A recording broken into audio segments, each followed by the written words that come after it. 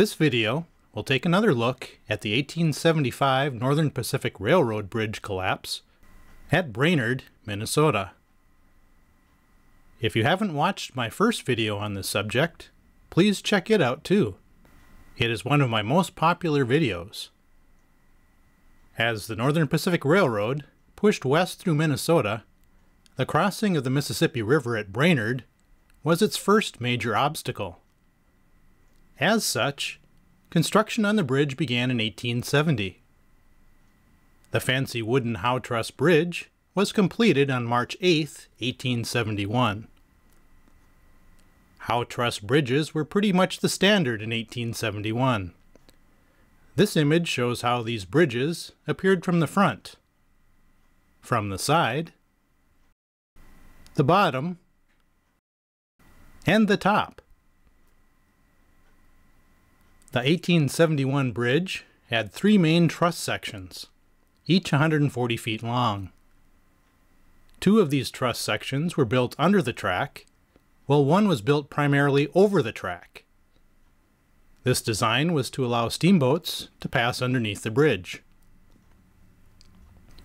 Taking a closer look at one of the truss segments from the 1871 bridge shows the patented Howe design.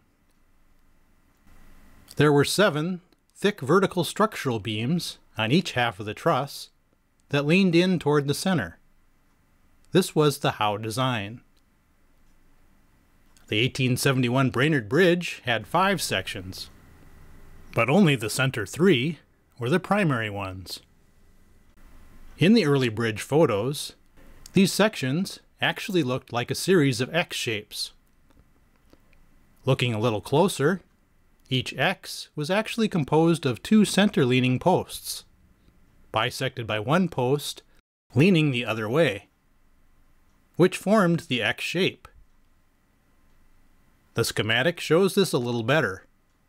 The two center-leaning posts are shown in red, and the single post leaning the opposite way is shown in blue. This again shows how a Howe truss bridge was constructed.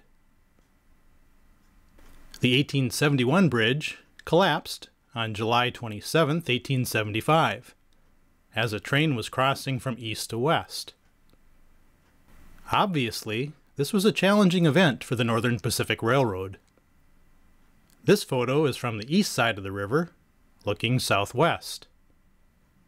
This photo is from the west side of the river, looking northeast. This was also where I made a big error in my first video. I put together a model of the 1871 bridge, then estimated what the temporary fix may have looked like. I have learned since not to estimate anything. Check and double check if you can. So what did the temporary fix actually look like? First of all, the Northern Pacific needed to get the line back up as fast as possible to keep goods and services flowing east and west. General Manager Charles W. Mead departed St. Paul for Brainerd immediately to lead the important decisions that needed to be made. This 1875 Halstead map shows the Mississippi River crossing in Brainerd. When General Manager Mead arrived, one of the first decisions made was to build a temporary pile bridge just north of the fallen one. Pile pattern bridges were said to be stronger than ordinary truss bridges. In this sample segment, there are five piles that are driven into the ground to support the overhead bridge structure. Steam pile drivers were employed to drive these pilings into the ground, like this one, mounted to a railroad car. A barge was also built for a steam pile driver, so the work could proceed on the river. Carpenters arrived on scene, and work continued around the clock. The temporary pile bridge was completed on August 11, 1875, 15 days after the first bridge had collapsed. The temporary bridge was put in constant use to catch up with the accumulated freight. The pile bridge, which cost about $6,000 to complete, may have looked something like this. I am unsure if there are any surviving images of the temporary bridge. A little over a week after its completion, disaster nearly struck again at the New Brainerd Bridge site. On August 21, 1875, as a train was crossing the bridge, the brake beam of one of the rail cars dropped, catching a tie. Before the train could be stopped, the car was thrown from the track and ties were torn out for 10 to 12 feet. The bridge withstood the shock, so a repeat of the first bridge collapse was averted. The Northern Pacific found that the train contained cars from two different railroads, which did not share the same kind of brake fastenings. This caused a brake beam from one of the cars to drop and rip out the section of ties. Ironically, this was what the company had suspected as the cause of the first bridge collapse. A few weeks later, the railroad completed a salvage operation on the locomotive that had fallen into the river during the bridge collapse. The locomotive had sat along the western bank of the Mississippi River since July 27th, about a month and a half. The bank on the west side of the river had been graded, and a track was laid down to the rusty and battered monster. A couple of powerful locomotives on top of the hill slowly and sadly drew her up to a proper level again. She was a sad looking sight as she was slowly drawn across the temporary railroad bridge. The damaged engine was pulled through Brainerd, where everyone stopped and gazed at her remains, not speaking a word. Only the boiler, the heavy frame, and the skeleton of the cab remained, and they were covered with mud and rust. The sight of the wrecked locomotive, as she slowly proceeded through town, brought back the memory of the crash for those who had heard it and witnessed the aftermath at the scene. In addition to building the temporary pile bridge, General Manager Mead also started the process of rebuilding the original trestle bridge. This involved replacing the original abutments and piers, the wooden support structure, and the bridge sections. A stonemason from Duluth was awarded the contract to build the five piers and abutments. The stone to be used would be from Fond du Lac, Minnesota, which was near Duluth. Unfortunately, the Northern Pacific found the Fond du Lac stone to be shelly and unsubstantial. Therefore, the company decided to use stone from Hinckley, Minnesota, which was located between Duluth and St. Paul. However, once again, this stone did not meet the standards required and was abandoned. The citizens in these towns took great pride in their local products and did not enjoy the negative press these rejections brought. The Duluth newspaper said the railroad company was mining the stone at the wrong time of year, claiming the frost had cracked the Fond du Lac stone. They noted that the Hinckley stone was likely rejected for the same reason. The editor still believed that the Fond du Lac stone was best and should be reconsidered for the project. However, the Northern Pacific officials had already decided to use granite from Sauk Rapids, Minnesota. There were numerous quarries in the Sauk Rapids and St. Cloud areas that produced good bridgestone the big drawback to using Sauk Rapids granite was that it would cost an extra $5,000 to ship it to Brainerd.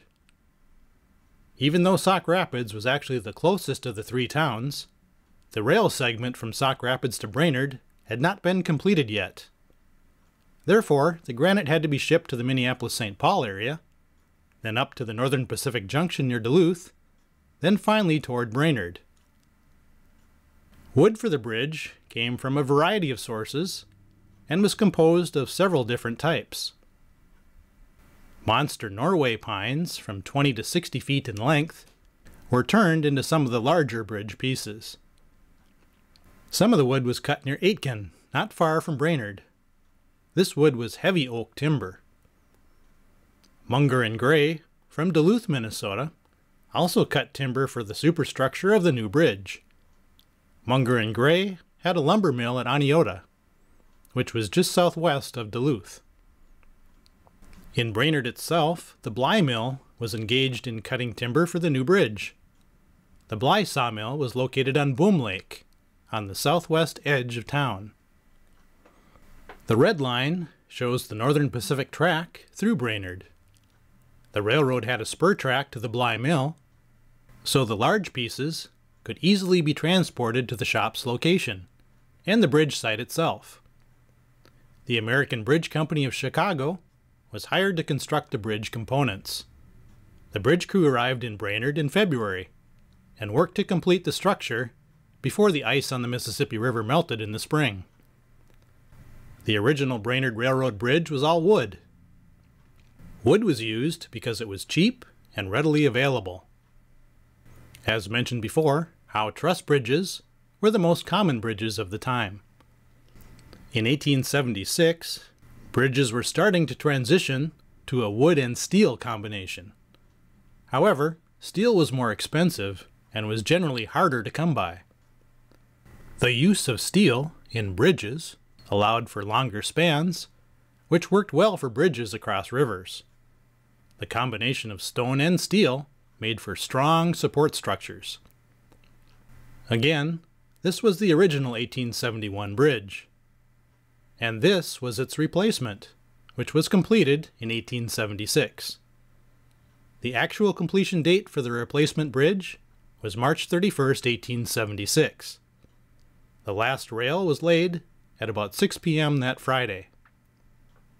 The new bridge featured three large truss segments, each 143 feet long. A single locomotive, operated by Thomas J. Delamere, stopped at the center of each span, testing the strength of each segment. They even allowed a few brave townspeople to ride along on the first engine, which would be unheard of today. After this was done, a second engine was added, stopping at the center of each segment again.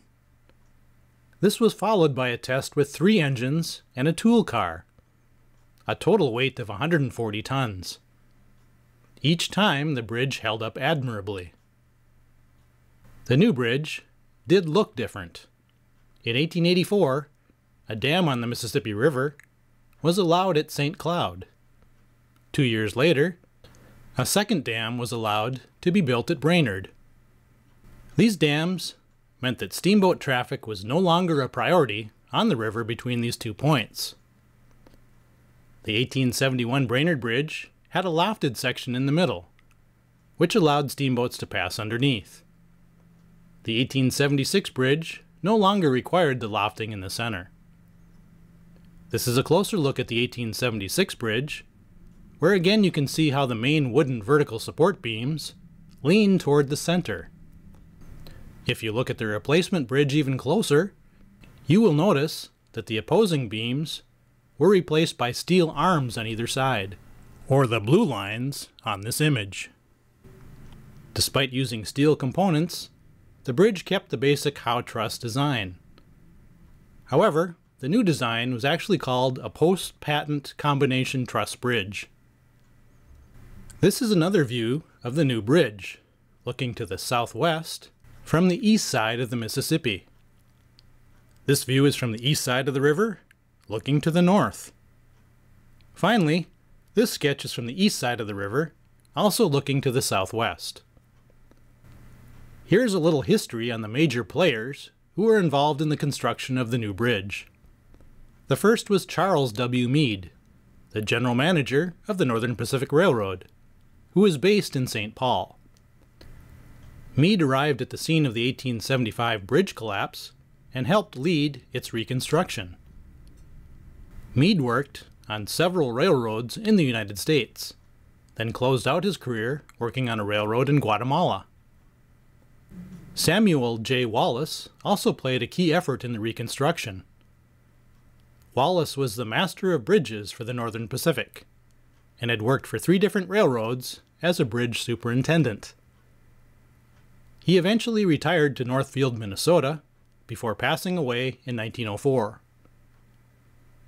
Moses C. Kimberly was the resident engineer for the Northern Pacific Railroad at Brainerd in 1876. He worked as a civil engineer at a variety of railroads, then settled in with the Northern Pacific, working his way up the management ladder. Kimberly died in St. Paul in 1923. Finally, Charles G. Franklin from Duluth, Minnesota, was an assistant civil engineer on the 1876 bridge. Franklin did most of his work in Duluth, but spent some time assisting with the Brainerd Bridge reconstruction. Franklin died in Duluth in 1903. The new 1876 Northern Pacific Bridge in Brainerd kept traffic flowing along the Northern Transcontinental Railroad for a number of years. This is how the bridge location appeared during the summer of 2023. That concludes the video. Make sure to check out my other YouTube videos and my primary website at mnbricks.com.